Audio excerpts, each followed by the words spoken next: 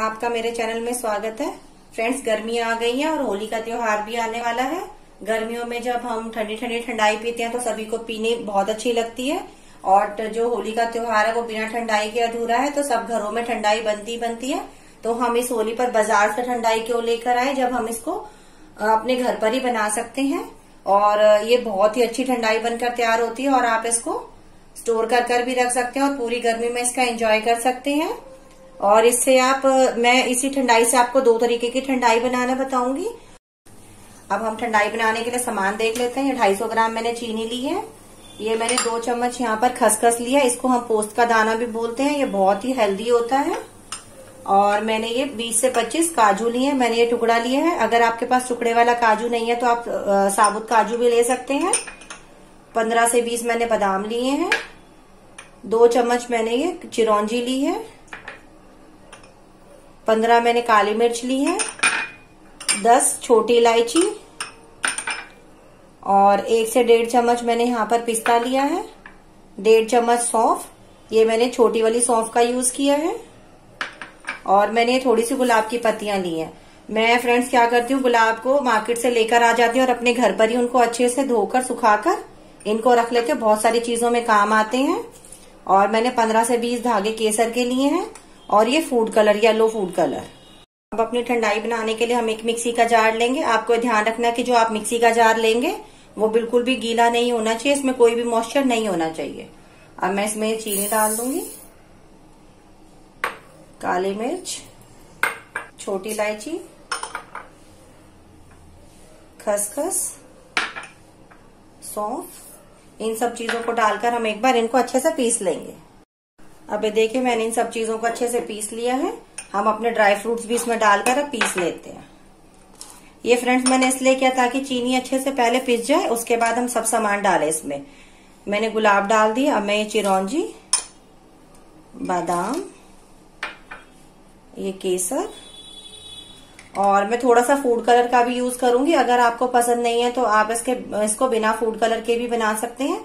बहुत थोड़ा सा, जैसे मार्केट वाली ठंडाई में होता है ना बस उतना सा ही मैं इसमें डाल रही हूँ, जिससे हमारी ठंडाई में बहुत ही अच्छा कलर आ जाए और इसको हम एक बार फिर से पीस लेंगे। अभी देखिए, मैंने इन सब चीज़ों को अच्छे से पीस लिया है और ये बहुत ही अच्छी ठंडाई बनकर तैयार हुई है और इसकी खुशबू भी बहुत अच्छी आ रही है।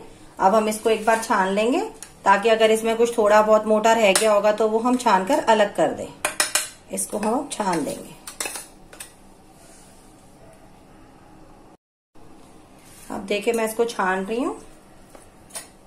तो आप इसको इस तरीके से छान सकते हैं ताकि ये सारी जो ठंडाई में अगर कुछ मोटा होगा तो वो निकल जाएगा।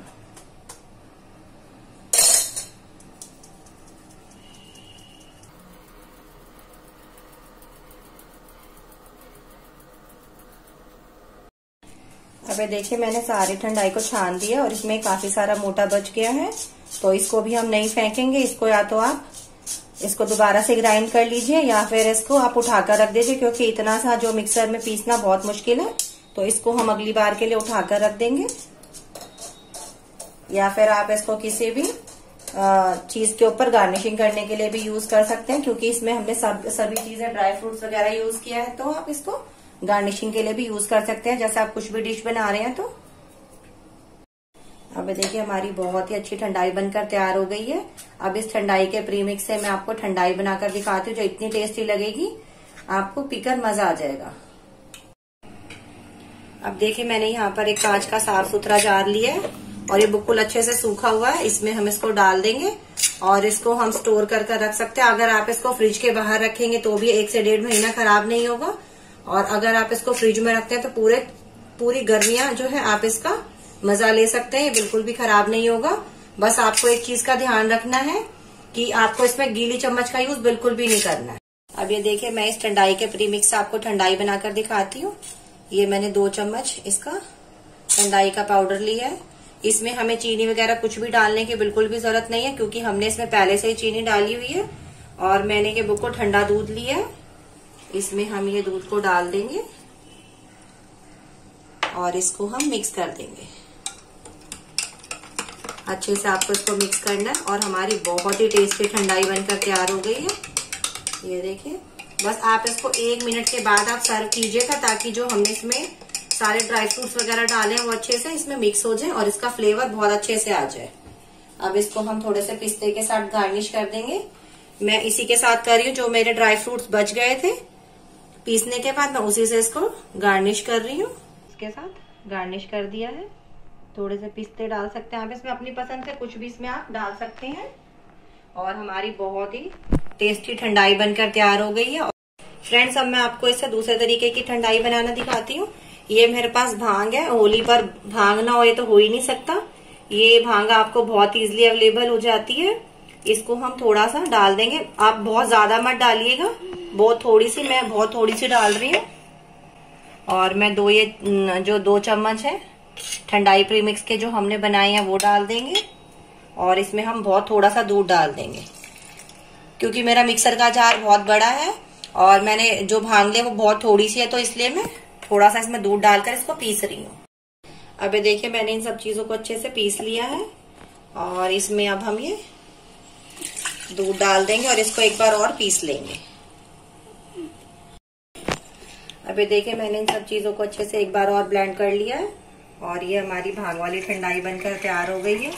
बहुत ही टेस्टी ठंडाई बनकर तैयार हुई है। इस होली पर आप अपने गेस्ट को भाग वाली ठंडाई ज़रूर पिलाइएगा। और ये तो भोलेनाथ का प्रसाद है तो आप उनको ज़रूर दीजिएगा। अब मैं इसको थोड़े से ड्राई फ्रूट्स के साथ गार्निश कर दूँगी। पर आप एक बात का ध्यान रखिएगा, इसको बच्चों को मत दीजिएगा। कभी बच्चे इसको पी लें तो उनकी हेल्थ के लिए अच्छा नहीं है। और इसको मैं थोड़े से सूखे गुलाब के साथ गार्निश कर दूँगी।